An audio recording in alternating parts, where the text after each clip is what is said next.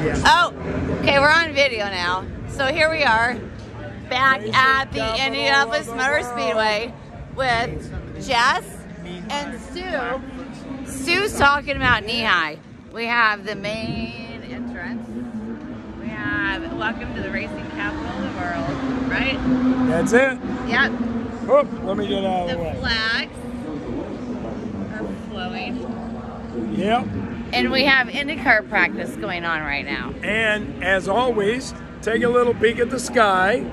See, looks Yeah. like rain again. So you know how that goes. That's what it does. And, and, it, and it's not May; it's really August. correct. And so we'll be back at 8 o'clock in the morning. Eight o'clock. so the 500 Gordon Pipers can do their Little deal.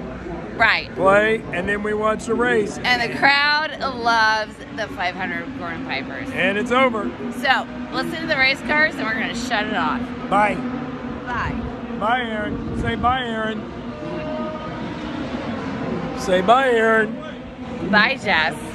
Bye.